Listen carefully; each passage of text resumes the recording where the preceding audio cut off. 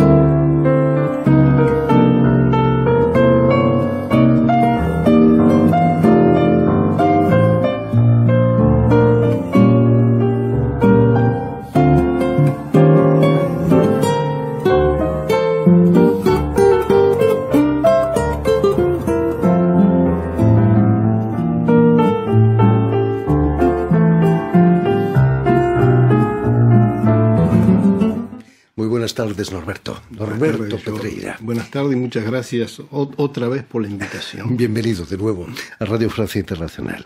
Eh, con Oswaldo Belmonte empezasteis a dialogar en 1980, ¿no? Ahí en Buenos Aires.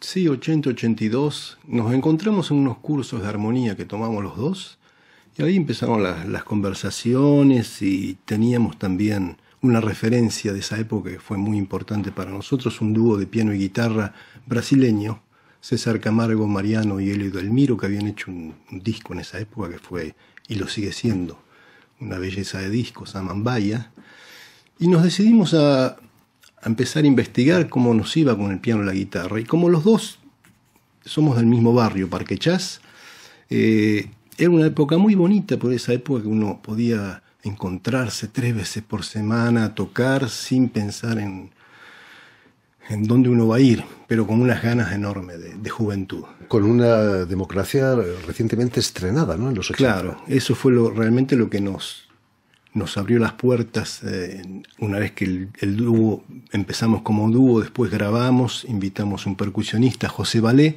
que se sumó, se convirtió en trío, y después empezamos a tocar, sí, en la época de lo que me ha tocado a mí vivir en Argentina, de las más bonitas, eh, la, la vuelta de la democracia os vemos en unas imágenes con barba. En la dictadura no era fácil no llevar barba. Eh, estaba mal visto por cierta gente, ¿cierto?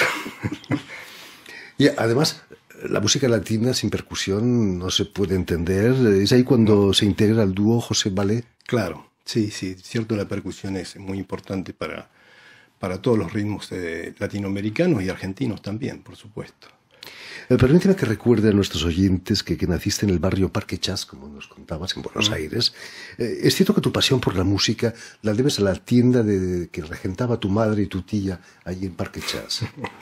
Yo creo que en parte sí, porque nací entre discos, yo me crecí entre discos en, una, en, un negocio de barrio, eh, donde claro, uno guarda todos los recuerdos intactos desde que llegaba el distribuidor con las novedades y nos hacía escuchar eh, lo, que, lo que funcionaba o lo que no funcionaba, que es cierto no tiene nada que ver con la época de hoy, eh, pero en épocas que sí me marcaron la vida porque yo escuchaba todo lo que llegaba a la casa. Eh, el valor disco en aquella época era mucho mayor, ¿no? No solo el precio, que también, pero el valor.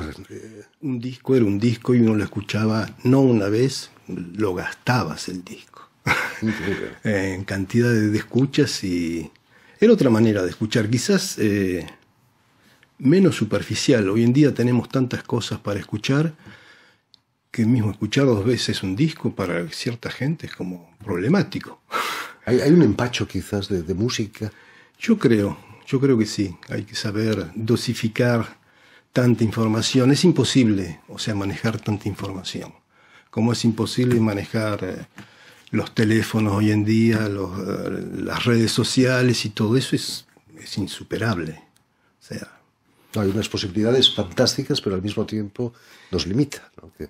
Y las posibilidades son fantásticas en todo sentido, porque en las cosas buenas, pero también en las cosas negativas. mucha gente, mucha gente empieza a estudiar guitarra gracias a las redes sociales. Sí, es una nueva manera, eh, pero no saben lo que se pierden de, tener realmente alguien delante que, esté atento a lo que está haciendo, porque no, no, es lo mismo. Claro que sí. Es otra, otra historia. Eh, tú mismo empiezas muy pronto a estudiar guitarra con tanto empeño que me decías que tus padres estaban muy preocupados. sí, en una época sí es cierto, porque llegaban los fines de semana y él era adolescente, en lugar de salir a, a bailar, se quedaba tocando guitarra en la casa. Entonces empezaron a tener sospechas. no, no, hay secretos, hay que trabajar ¿no? el instrumento. Y sí, no, no, hay, no, hay secretos. Bueno, hay gente que tiene más o menos facilidad, pero después todo es el trabajo. Y, las ganas, y la pasión. ¿no? Yo nunca lo vi como un trabajo y era un placer estar tocando guitarra todo el día, si se podía, con mucho gusto. Lo que pasa es que algunos grandes solistas, tanto del piano como de la guitarra, eh, se vanaglorian de no estudiar de una hora al día, lo que es falso, ¿no? No, puedes. no puedes. yo no, no, creo, no creo nada. Bueno, no. Eh, te conviertes muy pronto también en profesional y en trío vas a tocar incluso con el gran acordeonista eh, Barbosa, Raúl Barbosa. Eh, haces, sales de gira con él en festivales. sí, sí, fueron muchos años de colaboración con Raúl Barbosa, sí es cierto. Paralelamente a seguir haciendo mi, música, mis composiciones, pero eso fue un, sí, un momento intenso profesional en Francia, es cierto. Vas a ir a Japón, a Canadá, hasta la India, ¿no? Sí, la India fue sí con proyectos distintos. ¿eh?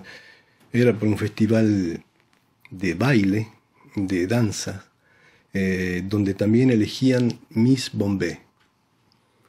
Tú no participaste, por supuesto. Como Miss Bombay no, pero nosotros hacíamos la música eh, para ese, esa que se transmitía en directo en toda la India. Increíble, ¿no? Estaba Trilo Gurtu, nosotros. muy linda experiencia también. Muy fuerte, muy fuerte. ¿Pudiste estrenar con Miss Bombay al final de la actuación? No, no porque me, llamaba Claudine por teléfono. no está mal eso. Vives aquí en París, Norberto, desde hace 30 años. Eh, llegaste a Francia, me contabas un poco por casualidad. Es cierto que te regaló un billete de avión un amigo. mi hermano. Ah. Mi hermano, sí.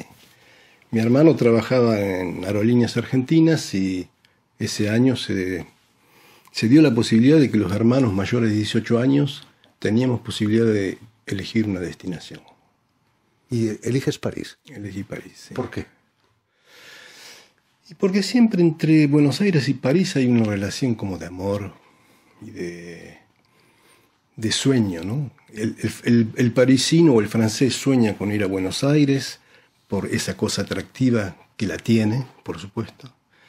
Y desde Buenos Aires eh, soñamos con París también, por la cultura, por, eh, por una época muy bonita también de Francia, mismo si podemos decir que hoy en día no es lo mismo, pero bueno, todavía tenemos margen. Por supuesto que sí.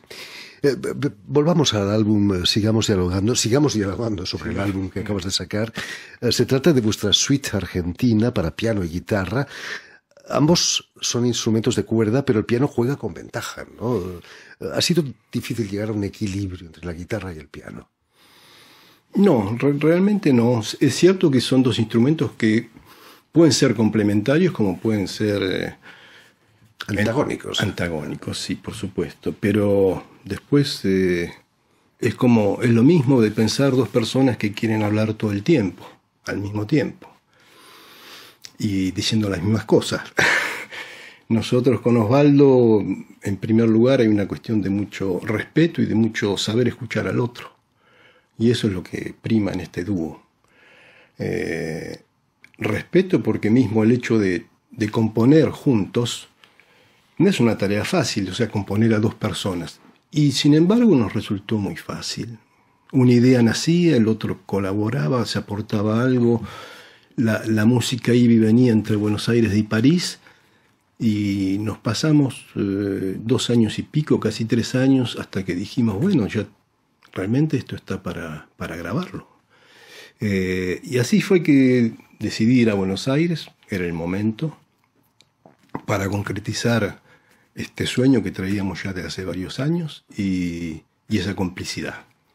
Y ahí fue que grabamos en un estudio argentino, y no solo ha sido un trabajo de dúo, también hemos contado tanto con la colaboración de, del ingeniero de sonido que nos, grabó, Mariano Míguez, pero fundamentalmente con el apoyo de un gran músico amigo de la infancia con el que yo he tenido mi primer dúo de guitarras en Argentina, Sergio Lisevsky, que se ha ocupado de eh, darle vida a, esta, sonoridad.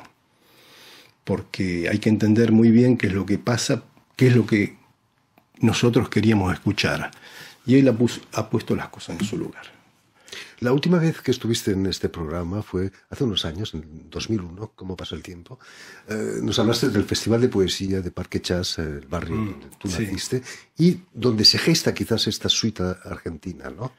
Es cierto, porque en ese periodo eh, nos propusieron colaborar con una, si queríamos hacer una obra original para participar en el festival, y así, así retomamos con Osvaldo. Dijimos, bueno, ¿por qué no? Vamos a hacer el primer desafío de esta, porque hacía años que no componíamos juntos, ya habíamos hecho composiciones, composiciones juntos. Y ahí nació la samba del reencuentro, eh, que fue el primer tema. Y una vez que terminamos esto dijimos, pero sigamos dialogando. Así fue. Y la verdad que fue, es todavía, yo estoy con, muy emocionado por la experiencia que hemos vivido todos juntos, eh, con toda la gente que ha colaborado, la amiga que ha hecho la tapa del disco, Sergio en la, en la mezcla, Osvaldo, este, eh, todo el mundo con enorme disposición para, para que esto resultara como creemos que, que está resultando. Además, la partitura de la suite argentina ha sido editada en Buenos Aires o aquí en Francia. No, es, eso es cierto, es, es un trabajo enorme y gracias al apoyo de, de ediciones de l'Empreinte Mélodique, eh, y Arnaud Sanz, que nos, ha hecho mucha confianza desde hace tiempo, yo trabajo con ellos, y, y yo le conté este proyecto y me dice, ah, sería lindo, no, no hay nada para piano y guitarra, ¿por qué no lo editamos? Bueno, y así fue. Primero grabamos, tocamos como nos salía a nosotros y después reacomodamos las partituras a lo que habíamos hecho en el disco, para que la gente que quiera realmente eh, comparar, puede escuchar el disco y, tocar lo que hemos hecho. Salvo en las partes de improvisación, hemos elegido extractos, porque si no, las partituras serían 100 páginas. No, vale la pena. Eh, no puedo dejarte marchar, Norberto, sin que nos ofrezcas una parte de esa suite argentina. Eh, no habrás traído la guitarra, por casualidad. Mira, encontré una en el piso. Bueno, fíjate, aprovechemos la ocasión.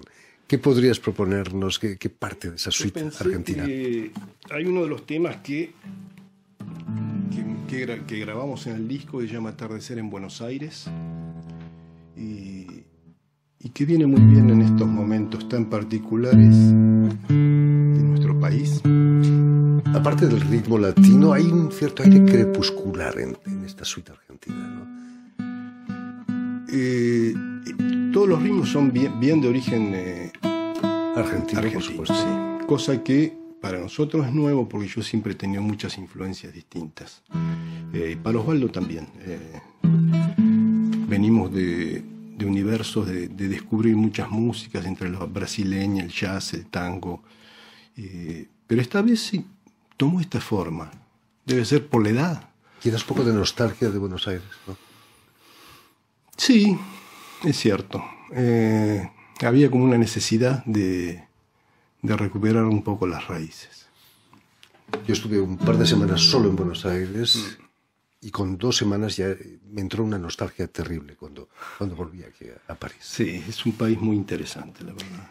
Norberto Pedreira, Crepúsculo en Buenos Aires.